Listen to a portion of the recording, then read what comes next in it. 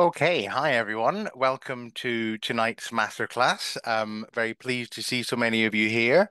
Um, and uh, I'm just going to do, do a bit of preamble, I think, until uh, um, we've got connected properly to um, Zoom and Facebook. I'm live streaming this into the Biz Magicians Community Facebook group as well as appearing live here on Zoom.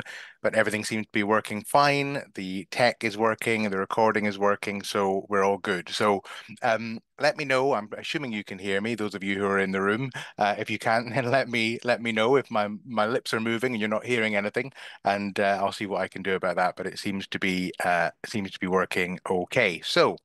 Um, great to see so many of you here. And um, Brilliant. Thank you, Anne Marie. That's uh, that that's perfect. Those of you who've been in my workshops before will probably notice that I'm not in my usual haunt. I'm not in my usual star festooned background. Um, and that's because I'm actually up in Scotland at the moment, uh, visiting my mum. And I'm currently in my, um, what was actually my teenage bedroom. So it's a slightly different venue to the one um, I've been used to uh, beaming in from. But um, I'm having a very nice time here in Scotland, and it's uh, uh, lovely, quite pleasant weather here for a change. So that's um, that's good. Um, so what I wanted to do really was just talk you through um, how this session is going to work and um, uh, and I'll be sharing my screen shortly, so uh, you'll be able to uh, see what I'm going to be talking about on the screen. Um, I apologize in advance for the fact that my Zoom screen is probably a bit pink. i am using my laptop, which is um, has some issues with its camera, so it makes me look very kind of um, uh, rosy faced. I'm not quite as rosy faced as this in in real life, but I'm not the most important thing in this. The most important important thing is going to be the information that I'm sharing with you. So uh, hopefully that will come through loud and clear. So whether you're watching this uh, in the room with me on Zoom or are watching it on the replay or are watching it in the Facebook group on a streaming um, you're very welcome here. Just to let you know, I'm not able to uh, watch the Facebook group. So if you're saying hello to me in there, hello back to you. Good to good to have you connecting with me in any uh, any way that works. So let me um, kick off by sharing my screen, and we can we can go from there. Let me just check that I'm actually sharing the right one. There we are. That should be working. You should be seeing my um, my slides there. I hope you are. Um, and uh, great. Thank you, Shirley. Perfect. Good stuff. Well, that's that's worked out well so far. Everything so far has worked out perfectly well. So this is this is this is good. Um, what I, I wanted to let you know, by the way, is that I am going to um, share these slides with you after the uh, session. So although I certainly invite you to take notes and feel free to scribble down any notes that you uh, want to, what I'd suggest you do actually is rather than just writing down what I'm saying or what's on the slide, just bear in mind you'll get all of that in the replay and also in the slides themselves.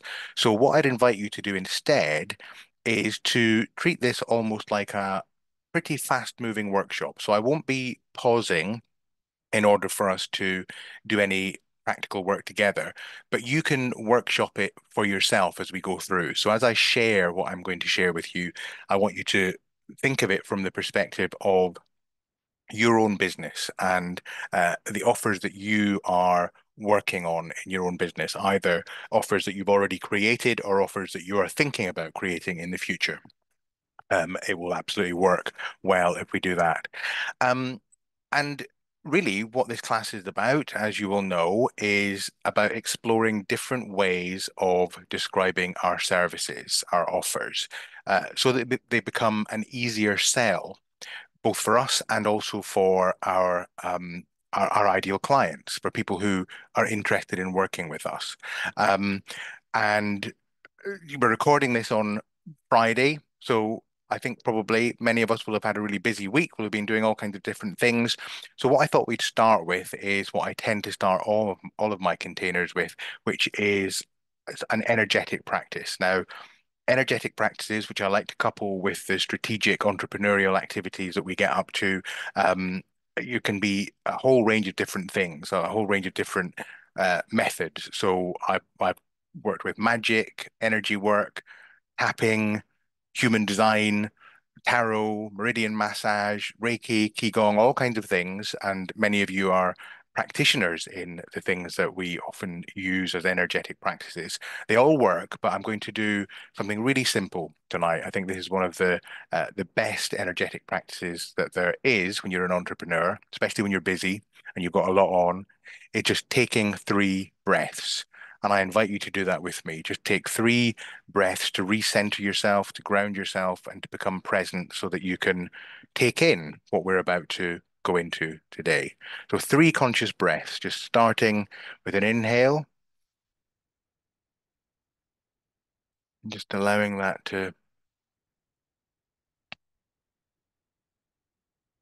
relax you, hold at the top and then out.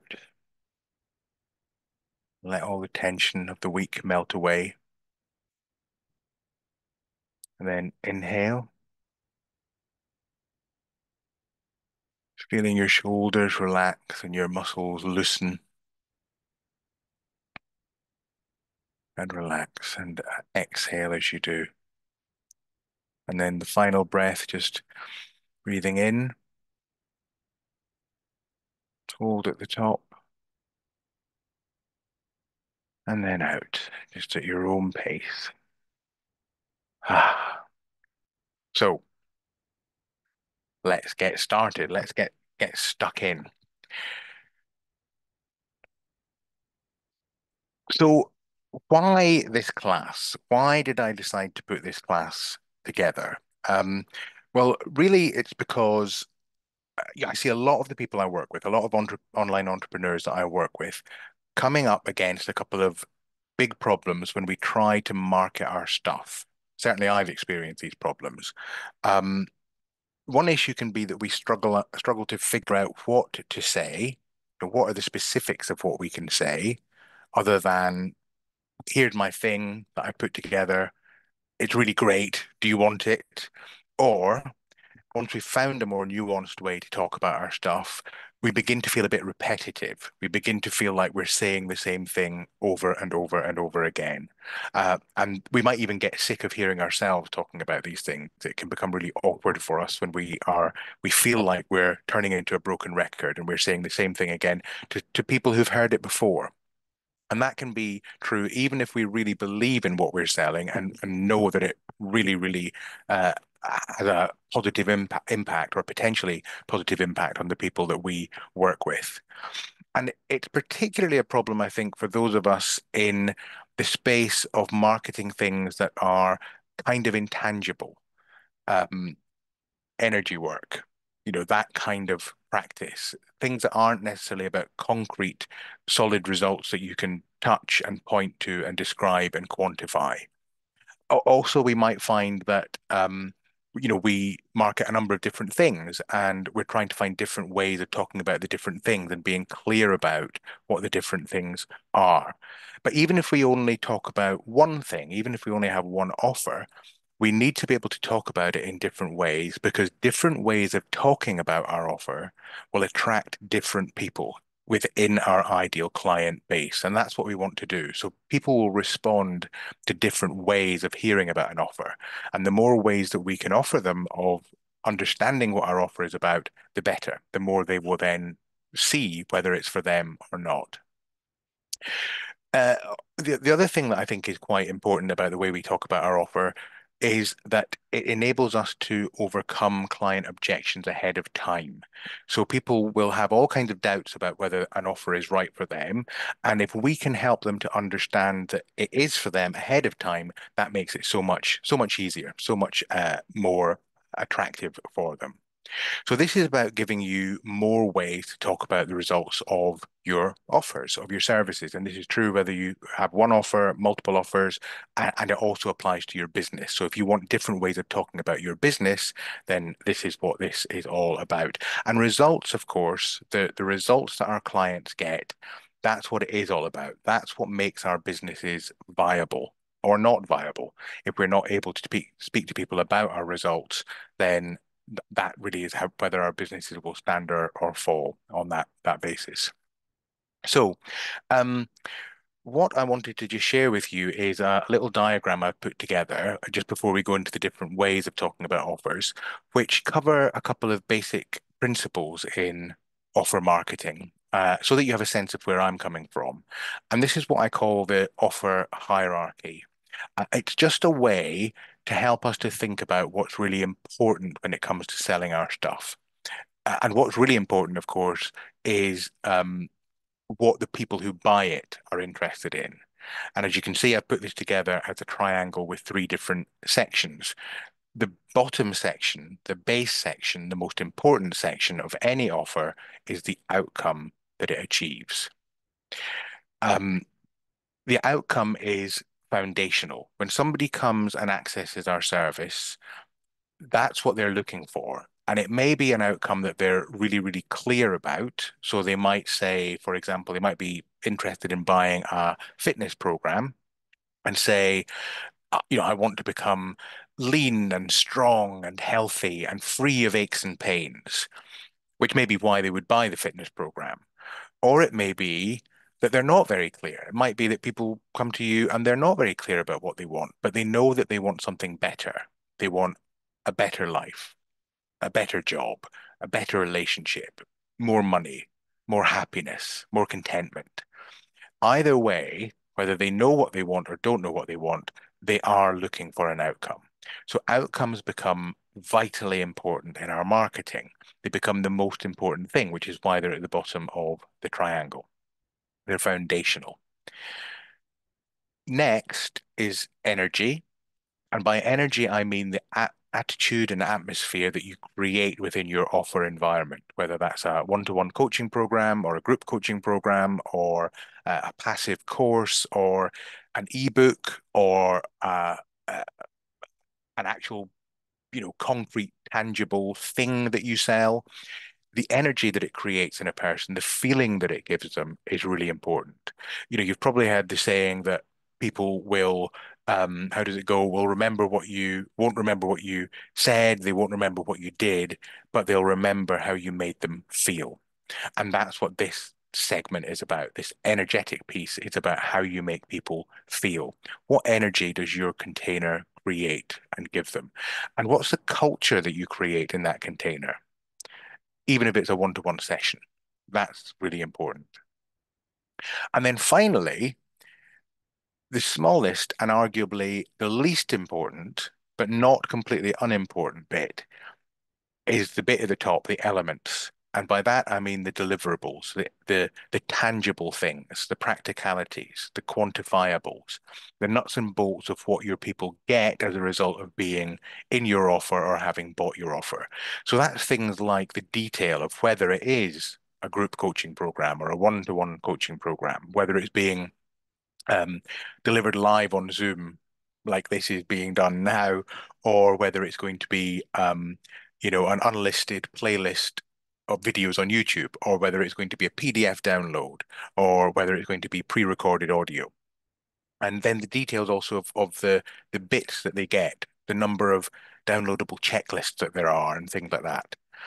Now, these things are not irrelevant. They are, of course, relevant because people need to know what practical things they're going to get, and they need to know how these offers or any offer you create is going to work. You know, what do they get and when do they get it once they've paid for it?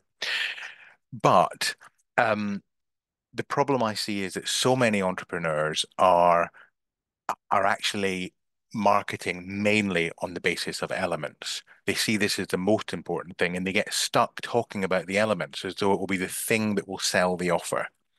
And I promise you it isn't. Generally speaking, most people either don't care or don't care very much about this detail other than for practical purposes so that they know when to turn up for classes, etc. What they care more about is the energy, the way that it makes them feel, and the outcome. And just in terms of proportions, what I suggest, um, certainly uh, I don't suggest never talking about the deliverables because they have their place.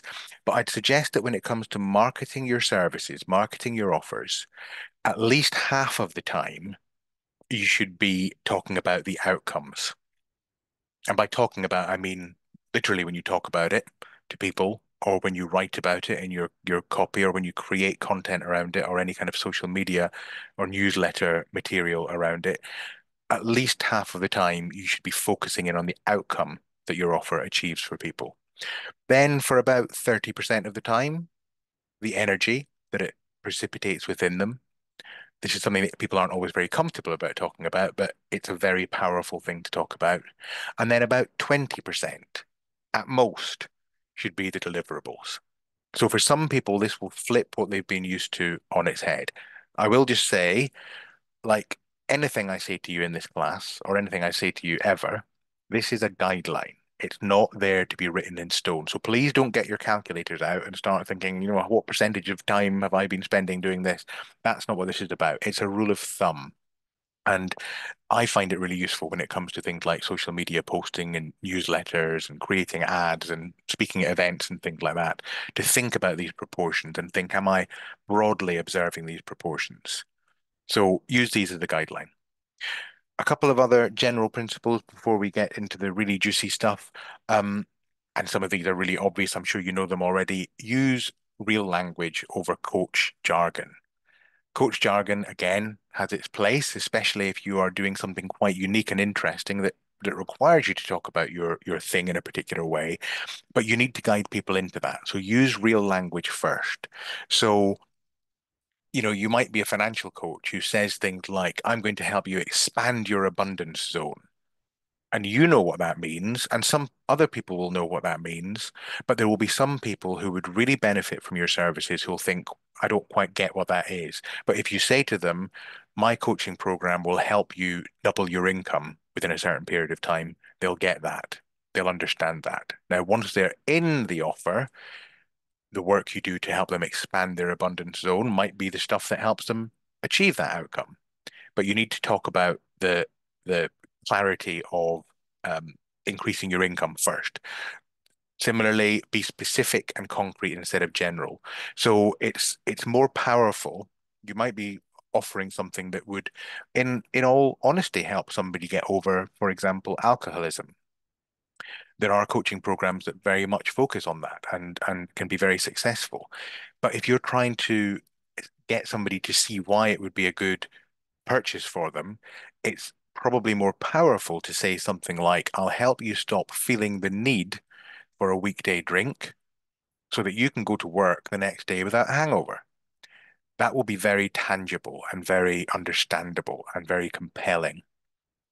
And then lastly, in terms of these principles, talk from their perspective, not from yours. So your journey as a coach, as a healer, or as any kind of service-based practitioner is very important. And I'll talk about this as one of the things, one of the ways to talk about your offer is to talk about your story. But don't get stuck in only talking about your story. So if you're trying to sell, um, for example, a relationship um, improvement program, one way to do it is to say, look at me, my relationship is great now. But if you focus only on that, you're going to lose a large proportion of your audience. So you want to actually be able to convert that into um, by entering this program and working with me, you will know how how to contribute to healthy relationship interactions uh, in order that your relationship can be great, and then you can match that with your your story. Okay, back to preamble. Those are the principles. Everything else is kind of based upon those fundamental principles. So if you get those down, you'll be able to come up with your own ways of talking about offers. But let me run you through the different ways. So there are 21 of them. There are actually 22 because I've thrown in an extra bonus one. And the first ones I've clustered together around that important base that I talked about, the um, outcomes. So in terms of marketing by outcomes. Uh, just just a reminder, um, by the way, as we go into these 21 ways, I'm not suggesting you use all 21 ways all the time, and certainly not all at once, but think of them as a kind of pick and mix menu and use them as ideas. I'm sharing ideas with you that you can then use to change things up in your marketing. So you may market your offers by talking about them basically in the same way most of the time and then pulling on some of these other options. You can also use these options that I'm going to give you dynamically in the moment. So if you're, for example, in a sales call or in a conversation with somebody and you're talking to them about your offer or your service, and you have this feeling that they are a good fit for your offer, and maybe they say they feel that they're a good fit for your offer, but they're just not quite connecting. It might be because they haven't yet heard the the the way of understanding your offer that will help them feel confident in purchasing. So you can, in a single conversation, try some of these different ways of talking about your offer. So we're starting with the foundational one, the outcomes. And the first and most obvious way of talking about about outcomes, and this is one that we're probably most familiar with, is about marketing your offer by describing the solution that it provides your clients. And I'm going to give you an overview of um, all the different options, and I'll give you some examples, um, general examples in broad categories of health, wealth, and relationships. So, as I say, as I, as I, as I do this, I invite you to try and relate this to your own work and use these examples to give you um, uh, give yourself ideas. Okay, so some examples in terms of health and wealth and relationships if you're talking about the solution, you might say something like, I'll teach you a practice that can calm anxiety in minutes, if not seconds. If you're talking about a kind of wealth related offer, uh, if you're a, sales coach, for example, I'll show you a three step process to easily close sales in the DMs. I'll coach you through a method to enable you to communicate clearly with your partner if you're a relationship co coach. So notice how specific they are. It's not just my offer helps you calm anxiety. It's calm anxiety in minutes. It's not just communicate clearly. These are these are you know perfectly valid things for people to want, but this is very specific. It communicate clearly with your partner. And this is important because solutions sell and so does specificity. I always have to be careful saying that word. Um, so the closer you can get to describing specific solutions, you are going to, if you can do that, you're going to quantum leap your marketing because you will be speaking directly to people who need and want and would benefit from your services. So, I mean, if you took nothing else from the class, that would be enough. Specific solutions sell. But there are other ways of talking about outcomes. One other way is the flip side of talking about solutions, and that's to talk about uh, leaving problems behind. Because people don't always want to just move towards something. They also often want to move away from things, from situations and circumstances that just don't support them or are harming them in some way. So this is about helping them see that your offer could provide a path away from whatever ails them, what the, the place that they don't want to be in, the position they don't want to be in. And again, a really important point to, to note here is that this is not about pain point marketing. You know, that, that thing that some bro marketers promote, the idea of you, you make people feel terrible or more terrible about the poor situation they're in as a way of saying to them, if only you had my offer.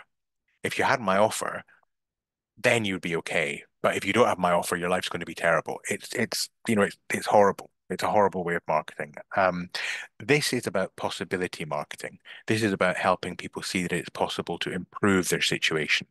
But that doesn't mean shying away from talking about the less fun stuff. So here, you know, it's pretty simple.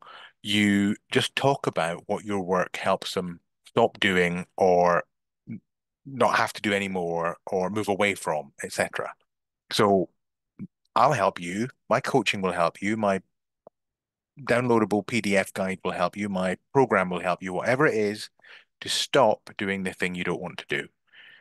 Maybe it's overeating, over drinking, biting your nails, spending more money than you save, procrastinating over applying income generating strategies in your business, becoming jealous in your relationships, feeling anxious in social situations. So it's acknowledging the position that they're in and speaking about your offer as a way of moving away from that. And of course, you would couple this with information about the good things that your offer can create. So those are big kind of, if you like, whole offer outcomes. You know, either the outcome of achieving what they want or moving away from the big problem they have. But there are different ways of talking about out outcomes almost on a scale. So one way is around talking about um, immediate outcomes. These are less big picture, but they're still important. It's not about the ultimate solution or solving the ultimate problem, but it's about providing necessary steps along the way. And immediate outcomes are the quick wins that your offer can give people. And it's important because sometimes when people um, buy an offer, when they buy a coaching program or whatever it is, they they need to feel confident in what they're buying, and they may they may feel that they need a quick win, a quick payoff for their investment. They they might need something that will help boost their confidence in buying.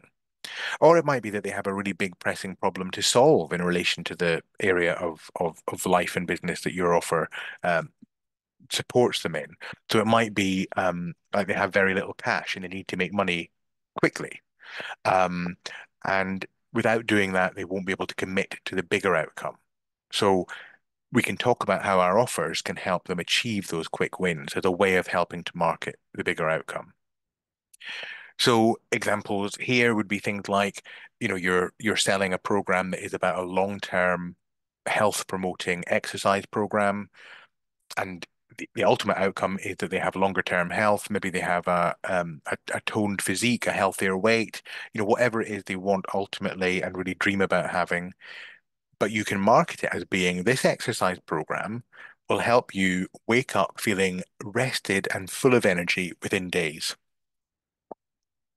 By the way, in everything I'm saying here, the underlying assumption is we are never making things up about our offers. So we only market things that we can stand behind. So you don't say this about your exercise program if you don't believe it's true. You only say it if you believe it's true and have evidence for yourself, either through your own experience or work with others, that it's true. And when you do that, you come from a position of authority and integrity in saying this. But think of how powerful that would be if somebody is perhaps feeling slightly trepidatious about committing to an exercise program to help them lose significant amount of weight, for example, to know that within days they can feel better with your help. Very powerful. Similarly, this eating plan will reduce your your cravings for problematic foods within days. So you might have somebody who's worried about how can I stick to this eating plan? I've failed so many times before. My cravings will get the better of me and you're helping them see that actually this program can help you reduce the craving pretty much right out of uh, out of the gate. If you're a business coach and you're helping people market themselves online, somebody like me, for example, I'll give you two months worth of social media posts. So many people who are marketing their businesses online panic about having to market on social media because they think, what on earth am I going to say every day? two months of social media posts would be a very attractive option for somebody about to embark, embark on that journey. In terms of money, finances, I'll help you find quick access money you didn't know you already have. I did a coaching program a few years ago with a um, a business development coach who also did financial coaching, and one of her freebies was um, it was just a PDF guide and it was about helping people find money that was hidden in plain sight. And she had an amazing track record. She she found people on average hundreds and in some the cases of some people thousands of pounds that was easily accessible to them that they had missed. And it was from things like cancelling subscriptions that were out of date and various things like that. But really some some really creative stuff. Very attractive very attractive if you're feeling pressed for cash. Similarly, if you're if you're coaching on relationships, I'll teach you an easy conversation starter phrase. If you're about to be encouraging them, for example, to become more sociable, and they're thinking, how can I become more sociable? I've got social anxiety, or I've got this history of difficult relationships. I just don't feel confident. This is the kind of thing that can win their confidence. And by the way, some of the things that I'm sharing here and some of these ideas for quick wins, this is the kind of stuff that makes great bonuses for your programs. If you're putting together an offer that has a big outcome and you can include some quick wins as bonuses, very attractive. Another one, um, kind of similar, this is the baby steps option. This is about the steps along the way to a big outcome. And because clients often come to us with this idea that they have this really big outcome they need to get to, and they know that there are steps they need to take in order to get to that outcome. But they might have some accurate ideas about what those steps are, but they may also have some quite inaccurate ideas about what those steps are. Uh, they might not really fully understand what the steps are. And um, what this is about is showing them the necessary steps and making it clear to them that your offer can help them take the ne necessary steps, that your offer can support them on that step by step by step process towards their goal. That makes it all the more compelling. And some examples here. Um, things like, you know, a fitness program, I'll show you how to add weight training into your daily toning fitness regime or routine. So some specific things they might know they need to do this. They might think I want to tone up and I'm about to start this exercise program program that's got lots of components, but actually I don't really know how to do weight training. You know, I need some help with that. Makes it clear that you can help them do that. Working on their finances, I'll teach you a simple financial practice, financial management practice that will make budgeting and financial growth a cinch. I'll show you how to get your first two clients within a week or within two weeks. Um, if you're build if you're speaking to people about building a, a coaching business, say, and then you can use the same process to build your client base. I'll coach you through widening your social circle in four weeks to increase your chance of finding true love. Somebody who's entered a relationship program that has promised the possibility of more exciting, fulfilling romantic relationships. Now, notice the connection here between the immediate thing, the stepping stone things, and the bigger picture, or, or rather between the immediate thing and the bigger picture and the stepping stones along the way. So weight training is the immediate thing that you can help them with in order to support their toning practice within their overall um, exercise routine that's going to lead them to your what probably is your bigger promise of health and vitality and um, freedom from life-limiting illness, for example. Financial management practice leads to better budgeting, can lead to more likely financial growth. Finding your first client, you can do it once, you can do it twice, three times, four times, you can build a client base, you can build a business. Widen your social circle in a way that is manageable for you, you increase your chance of relationship success. So think stepping stones here and it helps people see why your offer can help get them where they want to go. There are also uh, secondary outcomes, and I think of these as the ripple effects. These are the things where uh, you connect the thing that you're teaching and coaching people on with an extended outcome, something that happens as a byproduct of the main outcome. For example, um, your offer might be about helping people to cook fresh food. You might be a, a you know a, a, a cookery coach or a, or a nutritional advisor, and you are helping people to cook fresh food. But you could connect that to better health. So by joining my Cook Fresh Food from Scratch program, as well as learning to cook fresh food from scratch, very um, alliterative, um, you'll reduce your health risks.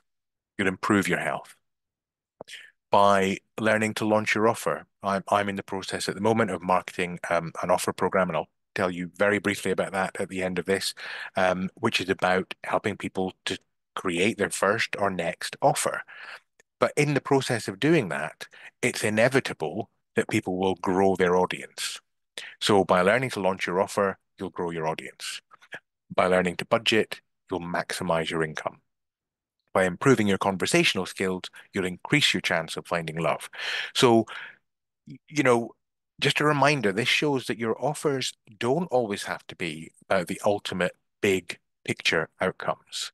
They don't have to be about the big final destination outcomes. They can be about the smaller ones. That's perfectly legitimate for an offer. But if you are marketing that offer, being able to connect to the bigger outcomes is very powerful you might mention it only, you know, secondarily, if at all, but nonetheless it's there, and that's that's powerful. And then taking it even further, we have very long-term outcomes, the, the happy future that can be ach achieved. This is almost the opposite of the short-term, immediate and ripple effect outcomes. This is about projecting your big outcome way into the future, even further down the line than your own lifetime, in fact. And this is a great way of igniting possibilities and reconnecting people to the why of what they're seeking. So, you know, what you could do here, uh, for example, is you're if you're a, a psychotherapist, say, and your work is about helping people to heal their traumatic experiences or heal from tra traumatic experiences. Clearly, there's going to be an immediate impact for the person that you're working with, and it can improve the chance of their happiness and wellness. But you know, and that's a great and, and marketable outcome. That would be enough but it also means potentially healthier engagement with their children, which is likely to improve their children's well-being. And then doesn't it also follow that there's at least an increased chance that their children are going to be better, or balanced parents to their kids? So it has a generational impact. And that's really, really compelling. It feels very powerful, very exciting. And again, it's not about promising all of that, but it's about talking about the possibility of that because people, when we're marketing things, sometimes marketing coaches act as though people are only selfish and only out to get what they really want in the immediate term. My experience is that that's not true. Very often people are very compelled by bigger picture stuff, by by helping other people. It, it can be very powerful as long as they feel confident that their needs are also being met. So um, let's another example is if your offer is about cleaning up your current finances, it, it might be that that's all your client really wants. I want to pay off my debts. You know, the bailiffs are coming, help.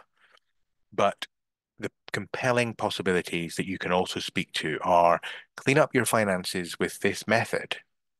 And the things you'll learn will help you triple your lifetime earning potential, for example. Or if you're a business coach, learn to coach one to many now instead of just one to one, and you'll lay the foundations of a six, seven, eight figure business. Doesn't mean, mean that you'll want that kind of business, doesn't mean that you'll definitely get that kind of business, but this step along the way will give you a portal to that bigger future. Again, a very compelling way of talking about your your modest little offer. Look what it can achieve longer term. So a little bonus outcome offer uh, option here, and then we'll look at some other other types of uh, ways of speaking about your um your your offers. And this is about connecting different life areas. So I've been giving examples here in health, wealth, and relationships, which are the kind of three main arenas that that most of us work within. And the standard advice, and it's not bad advice, is that your offers, most offers anyway, should be positioned squarely within one of these because that makes marketing easier and clearer and cleaner. Um, and certainly I'd usually recommend that. You're sort of staying in your lane, as it were. But it can be fun to pepper in hints of the way that your offer can connect to bigger issues. So your simple little health-based offer can actually increase a person's wealth. Why? Because if you're healthy, don't you have more energy? Don't you have more enthusiasm? Don't you have more get up and go to pursue your entrepreneurial dreams. And if you're fit, doesn't it make the physical side of life easier, including the physical side of life in a relationship? So there's a relationship link there. And if you come in it, at it from the relationship angle, if you help someone have a stable relationship, that's likely to create less stress in their life and more creativity. So don't be afraid to paint that bigger picture and make those connections and join the dots of the the bigger ripple, not just ripple effect, but the bigger connective effect that your offers have. That can be very exciting. So um, those are different ways of talking about outcomes and they're foundational. As I say, you should use them for about 50% of the time. But what about the rest of the time? So let's have a look at some other options or different options. This is the one that I call the ear perker upper.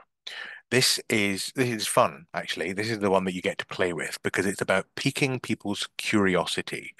What you want here is for uh, what you want to do is talk about your offer in a way that makes people go, wait, what? How does that work? What's that about? That sounds fun, or or that sounds mysterious. I want to know more, or that sounds weird. I, I have to know more about that. You want people to, you you want their ears to perk up. How do you do it? Um, you do it by one of the ways is to put things together uh, in a way that that connects your offer's outcome with something that feels a bit off kilter. Um, and that means that the premise and the detail of the offer and the way that the offer works is not going to be obvious. It might even sound a bit unlikely. So things like, I'll show you as a you're a health and fitness coach, I'll show you how to eat more, more volume of food, more variety of food, more level of nourishment in your food, and still lose weight if you need to. Now, some people hearing that would go, yeah, but people who are used to thinking, I'm never going to be able to lose weight because I love food too much, are, are likely to go, oh, what? Or I'll share my foolproof method for how to get paid to create free content. Now, again, some people just go, "Hmm, yeah, whatever. But people who are tired of creating free content as a way of building their businesses and thinking, when is the money going to come, are likely to go, how does that work? I want to know more about that. Or you might say, and anyone who's in a relationship, I'm sure will resonate with this. I'll coach you through a counterintuitive way. By saying it's counterintuitive, it makes it instantly like, what, what, what would that be? What, what, what would be different about it? I'd like to know more. A counterintuitive way to get your partner to listen to you. By the way, if anyone has created this program, I think we need to all be told about it. I'm not sure it's a real program. I'm making some of this up, but you you understand the theory. But if you had access to a program that got your partner to listen to you without feeling like you're nagging them or provoking a hostile reaction, that would be compelling to somebody who wanted that but didn't think it was possible. So the ear perker upper is about kind of chiming with people's sense of this is impossible, I could never have this, or this would never work, to make them go, oh, there might be something here. Tell me more.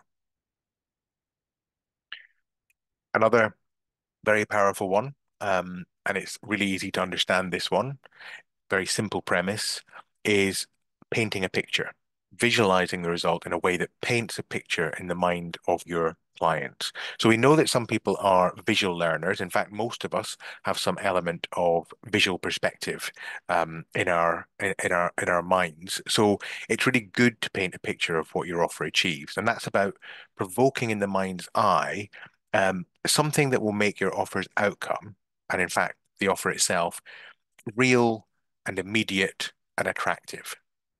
You want them to see a vision of their happy future life when you do this.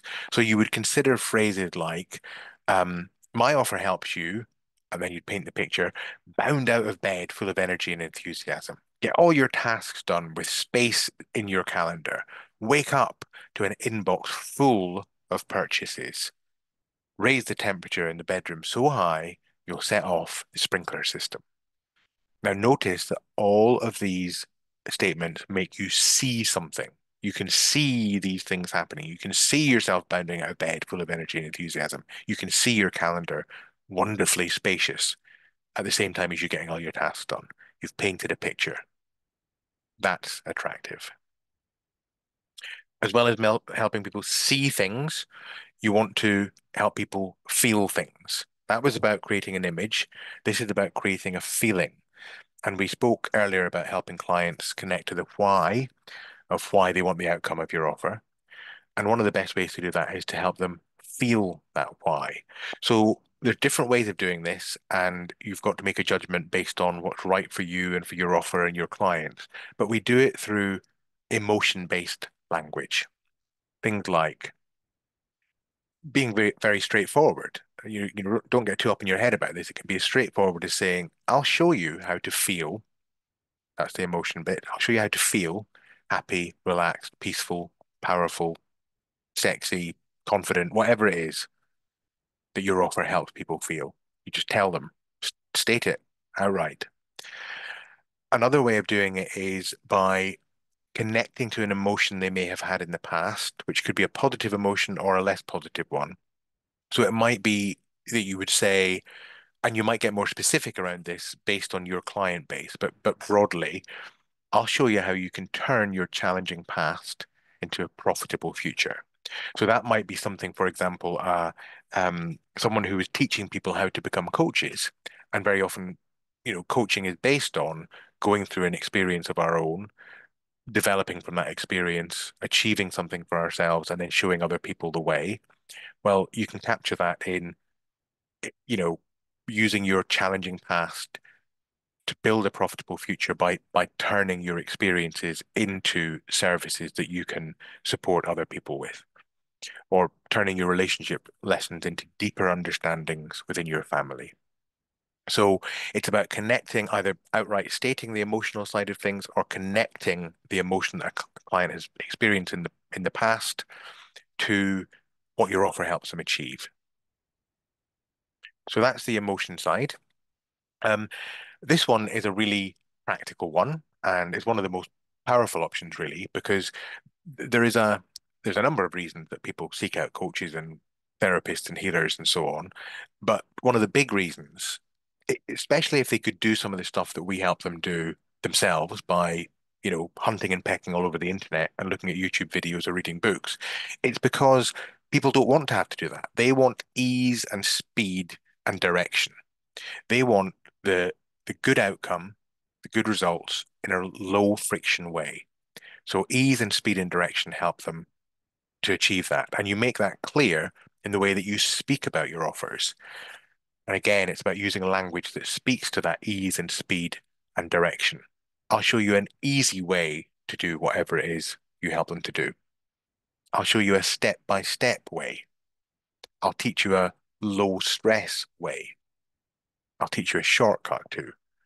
Um, I'll coach you to do the thing that you do in a certain amount of time.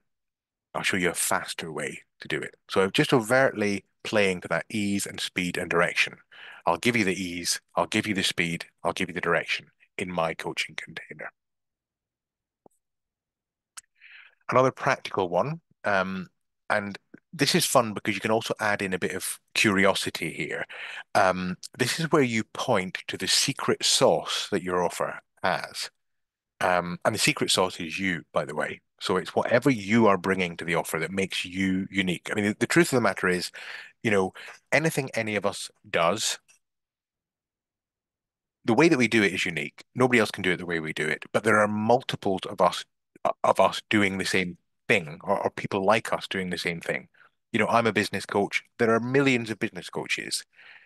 And there are even millions of business coaches that do the kind of business coaching I do, where we combine um, strategic you know, simple strategies and um, entrepreneurial practices with energetic and um, magical elements. Lots of people do that. Nobody does it quite like me. Nobody does what you do quite like you. You are your own secret sauce.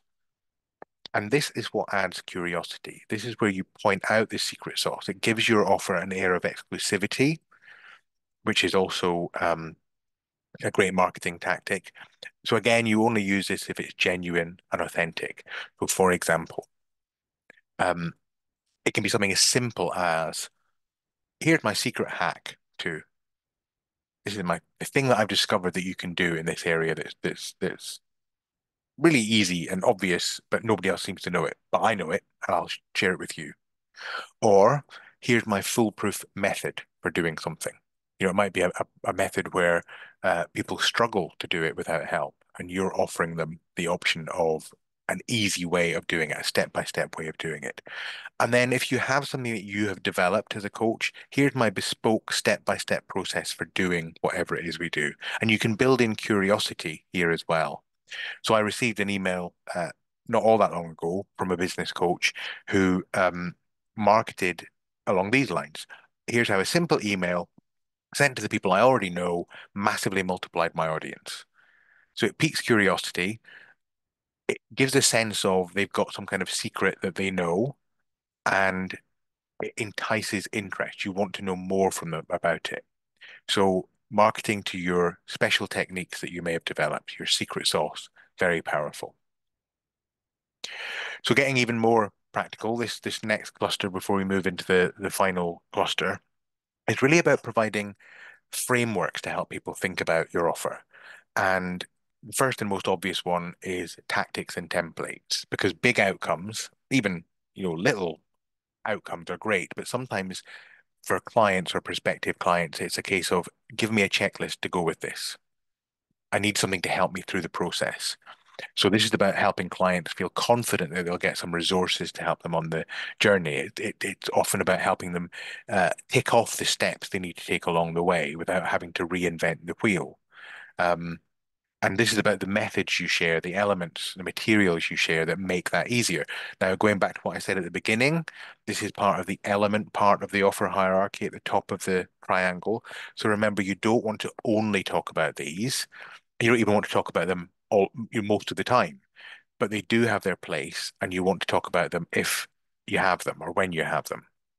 So again, you'd say things like, I'll give you a one page full body exercise routine if you're a fitness coach. I'll give you a um, quick glance list of affirmations if you're helping people with their uh, personal development and they are working with the law of attraction, say.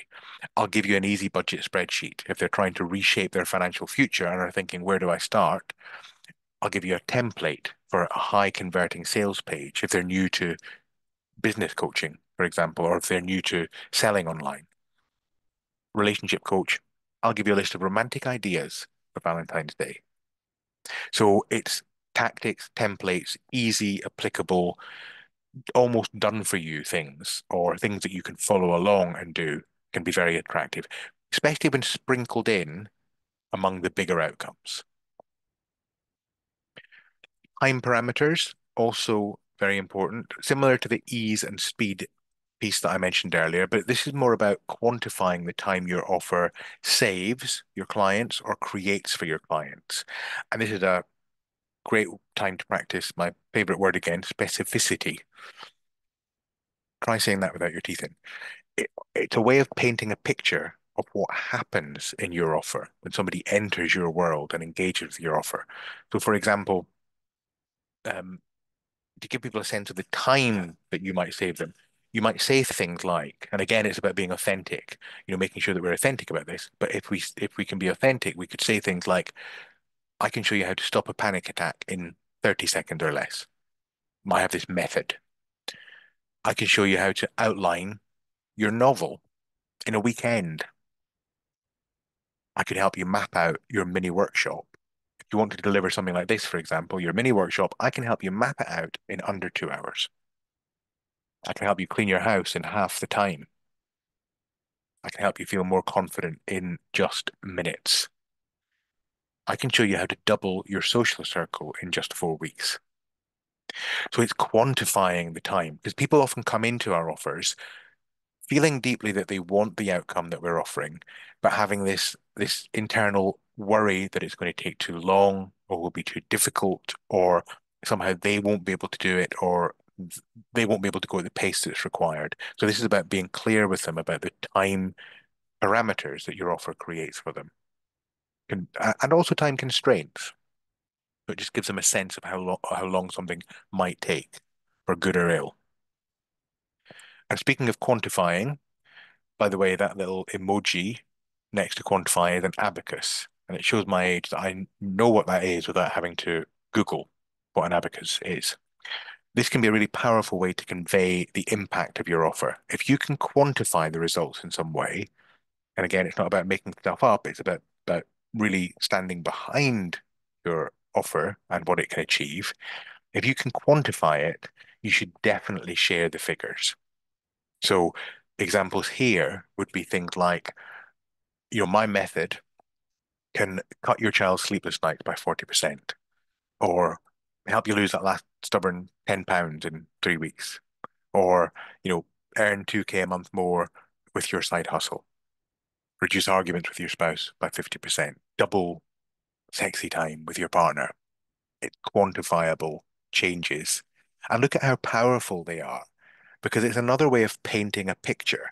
If you're a new parent and I know that many of you will have been parents, so you'll have been here. If you're a new parent and you are struggling with your child's sleeping pattern, and you find an offer that could could you know credibly cut your child's sleepless nights by 40%, you are going to be interested. The same for the others. You're not making this up. Again, it's about, you know, making sure you quantify what you can quantify. So you may need to lean into different ways of quantifying things.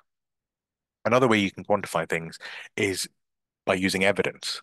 If there is evidence that relates to your work, you know, if there's evidence that backs up your work, if, for example, you are someone who coaches people on the benefits of walking in nature, if you find a study that cites the benefits that can be had by walking in nature, then that is a powerful thing to talk about when you're talking about your work.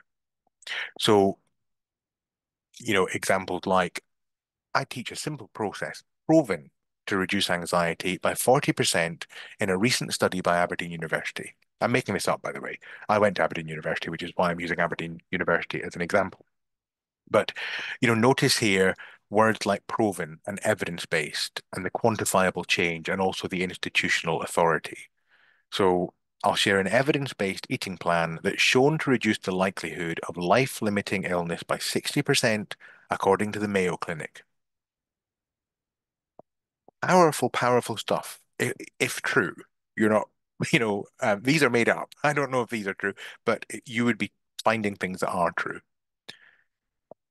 They sound very conceivable. There are studies that that cite the benefits of a huge amount of the work that people like us do. Finances, access tax-free saving allowances, guaranteed to increase your investment value by 20% in three years, according to the Institute for Fiscal Studies. If you're interested in financial growth, that's the kind of evidence that will be music to your ears. I use a counseling process shown to increase increase the likelihood of relationship reconciliations according to a peer-reviewed relate study. So it's about linking the potential outcome that somebody wants, the quantifiable evidential base that you have been able to find, and then the institutional authority. If you can link those three things together credibly and um, authentically, very powerful marketing material right there. So we're coming to the the end now. Um, we've covered a lot, so bear with me. There's just a few more that I want to share with you. This is the good one. It's using power phrases, turns of words that can help you talk about your offer in different ways. Things like, I'll help you do the thing that you help them do so that you achieve the big outcome. So I'll help you do such and such so that you achieve an outcome. I'll help you do this thing without having to, and then you would cite something that you know your ideal client don't want to do. This is where market research comes in and knowing what your clients want to do and also what they don't want to do. You know, it might be something like, um, you know, uh, well, in business coaching, it might be, for example, I want to build a six-figure business without having to spend money on ads. So if I know that about my clients, if I know that's what they want, that would be a compelling thing to be able to talk about. I can help you build your business to six figures without spending money on ads. Clear, compelling. I can help you do the thing just like, and you give example of somebody, maybe somebody famous who's achieved something, or maybe it's a case study. I'll talk about that in a second. I can help you do the thing even if and then you talk about something that they think they might need, but you know they don't need. So they might think, I can't do this thing. I can't build this business without more experience or training. You know, again, in my Offer Wizard program, one of the things I've used in the marketing of that is I can help you ideate, uh, validate, um, create, promote, launch, market, sell your offer, your first or your next offer, even if you have never created an offer before. Now, what that does, of course, is that somebody who's reading your copy or your advert or your newsletter and they're thinking, "Oh, this sounds wonderful. This this program sounds marvelous." Uh, but in their head, they've got this thing of, "But it won't work for me because I don't have such and such." And then, as if by magic, as if you are in their mind, you say, "This will work for you, even if you don't have that thing that you're thinking of now." Powerful stuff. I'll help you do the thing. Plus, I'll give you, and this is where you would list additional things like your templates and checklists and so on. So power power phrases useful to pepper into your your content. Another fun one. This is about flipping expectations. It chimes a bit with the earlier one I shared around stimulating curiosity, but this is actually a bit more about emphasizing the unlikely and the absurd. Not so much absurd in the eyes of everyone, but absurd or unlikely in the eyes of your ideal clients. For example, you know, again, um, we mentioned the previously the lose weight while still eating more. Well, this is taking it a bit further. I'll show you how to lose weight while eating more ice cream. Now, I'm not advocating necessarily that for a fitness and health program you would do this, but if you have a legitimate way of showing people how they can lose weight and be healthy and achieve the other things you're trying to do, and they can eat more ice cream while they're doing it, it's likely that somebody's going to go, but that that's that's bizarre. That that doesn't make sense. That's absurd. Tell me more, especially if they like ice cream. I'll help you to build muscle with no weightlifting. So somebody might want to build muscle. They might know that they need to build lean muscle mass in order to be healthier as part of their program, but you'll help them to do it without weightlifting. I'll help you achieve a six-figure launch with absolutely no ad spend. I'll help you increase your social contacts, even if you're introverted, socially anxious, and prefer to stay at home. Things that people will feel may not be possible, but you're making it clear to them are indeed possible. So finally, a cluster around people. And there are four ways to leverage people, including yourself, because you're a people too, in talking about your offer. They are testimonials, case studies, your own story, and overcoming objections. So for testimonials, you know, I think we all know that testimonials are the holy grail of marketing. If you have them, you should use them. If you don't have them, but could get them, you must get them and collate them because they're easy to forget or dismiss or lose. So the way you do it is by giving people a good experience of you right from the start, whether it's in you know in your offer, but also in your pre-offer material, you know, in free content, for example, in interactions with you, and then you you do things like you screenshot positive social media comments, you screenshot extracts from thank you emails. You um, invite people to send you recorded videos and audios um, giving you testimonials. You know, ask. People are always afraid to ask for this kind of stuff. But my experience is people like to be asked, especially if they've had a good experience with you. And a form of words you could use is something like, you know, I hope you enjoyed this experience. I'd love your honest feedback. And, you know, you, you take the honest feedback. And then, you know, you can say to them, if your feedback's positive, I'd love to be able to share it with others to encourage them to take part next time. Do I have your permission to do that? You can remain anonymous if you wish. Now, my experience is there are three things that people can do to a request like that. One is they can ignore it. And after a while, as an entrepreneur, you develop a tough skin where you realize that when people ignore it, it's not usually because because of hostile reasons. It's because they're busy and you know they just have other things to do. Or they can say no. That can be sometimes a bit harder to take, but you know, every no moves you closer to the next yes. So they say no. That just tells you that that's not the person you want a testimonial from. Or they say yes. And my experience is more often than not, people say yes, and they give you testimonials that you think this is far better than I could have expected. So leverage testimonials, work towards getting testimonials. Case studies. This is an actual story of client success where you say client X achieved such and such. And this is great if you um, don't have case don't have testimonials um, uh, and haven't yet been able to get them. You can uh, you can anonymize case studies. You might ask permission of people to use them as a case study if they can be identified. But if they can't, um, or you change enough of the details to make it still relevant and authentic, but without any um, risk of identification. And you can absolutely use case studies in in your marketing. When you say, my offer helps you to do this, this, and this, just like client X who achieved the following, and then you give that story. Or you might get more specific and say, here's how client X or client Y did this particular thing, and here's the results they got. And that's what my offer can achieve for you as well. And then there's your story. And your story is valuable. And you know, as I say, I sometimes hear business coaches coaches kind of dismiss this and say that only testimonials and case studies are valid. That's that's just not true. Um, especially at the beginning when you are just starting out, many people say, "But I haven't had clients, or or not many, and I certainly don't have testimonials to share yet." Your story is important. Um, and it can stay important. So if you think about, you know, even really established practitioners, like someone like um,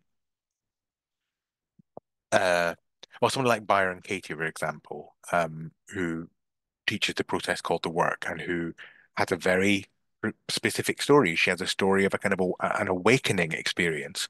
She's very established. She's been working with people for years, decades, and still regularly in her live events and live trainings and so on, and in her books, etc., will tell the story of her awakening experience because it's very compelling and uh, it, it helps illustrate what it is that she shares.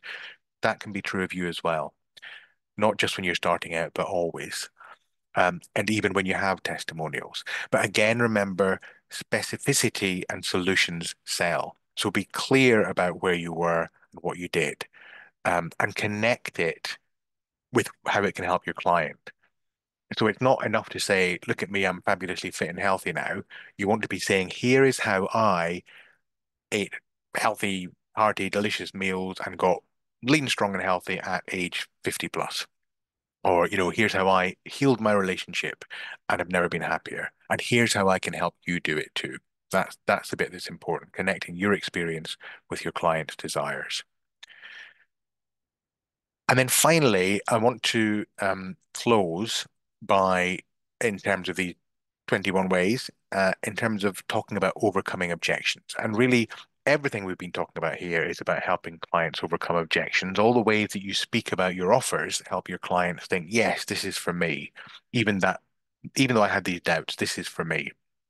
Um, because the more ways you do it, the more chance you are, uh, chances you have of hitting the thing that will trigger that client's interest in your work.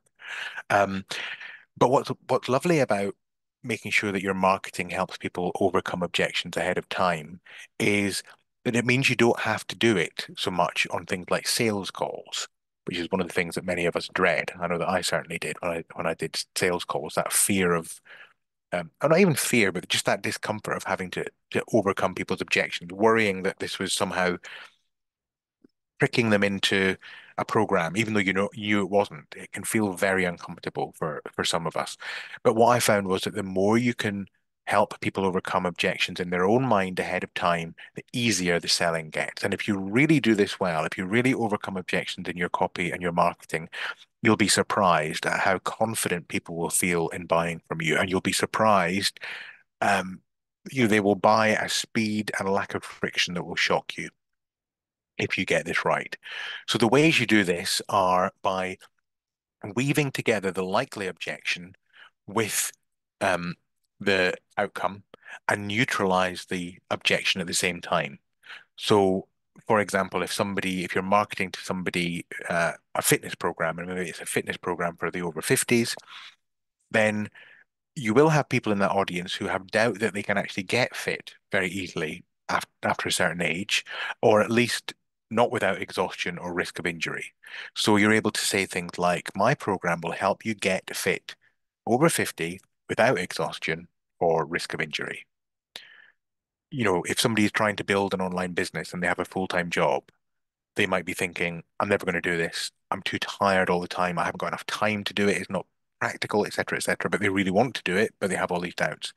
I'll help you build your business, even if you have a full-time job. And you can go into more detail, you know, even if you have a full-time job and you want to build your business to six figures.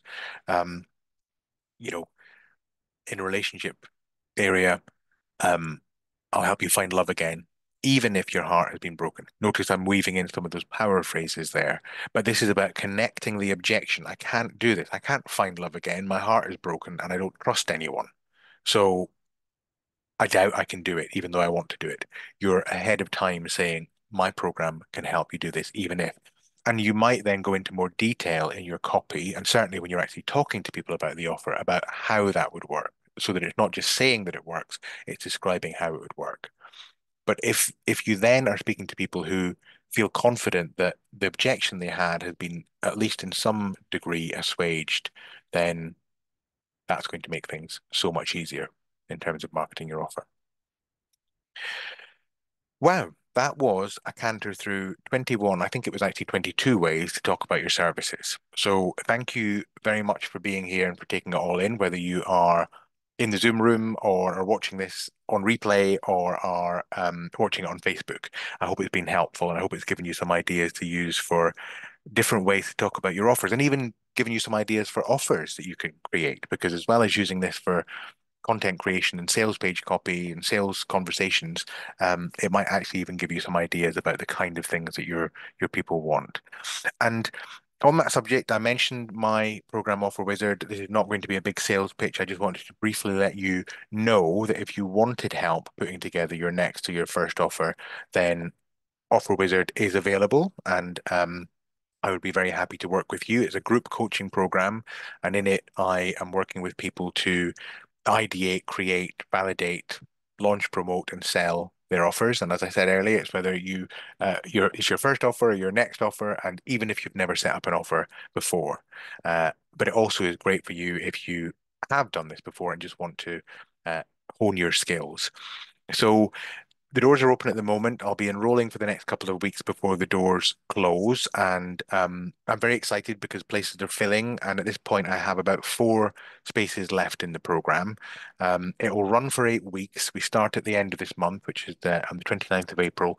And it includes a mix of training, where I'll be uh, delivering training on the different elements of creating and uh, marketing and selling an offer it also includes a free one-to-one session with me, um, and then access to more one-to-one support if you if you want it. But that's not necessary for success in this program. So that's absolutely only optional. It's the first time I've run this program in this particular way, um, but it is shaping up to be my signature offer. So when I re relaunch it later in the year, which is what I'm intending to do, it's going to be at a significantly higher price. The price for this cohort goes up to $444 for the program one week from now, which is still a bargain. It's less than half the price of the next launch price. But um, I have a special early bird offer running, so you can access it uh, until um, uh, the end of next week. I think we're doing it uh, at $333. So um, I hope, uh, well, people have been taking advantage of that, and I hope that will be of interest to others. I'll send out details of Offer Wizard when I send out the replay of this program and also the slides. Um, and that's it from me. So um, thank you very much for for being here. It's um, it's it's always great to see you, and it's lovely to see some familiar faces and also some new faces. Uh, and whether you're in the Zoom room or watching on replay or in Facebook, I'm really delighted that you are here. So I'll be in touch soon with the replay details. Best wishes to you all. Good luck with all of your work and I'll see you all again very soon. Let me see if I can stop sharing. Brilliant. Thank you. Thank you, Anne Marie. Great to see you all. Take care of yourselves.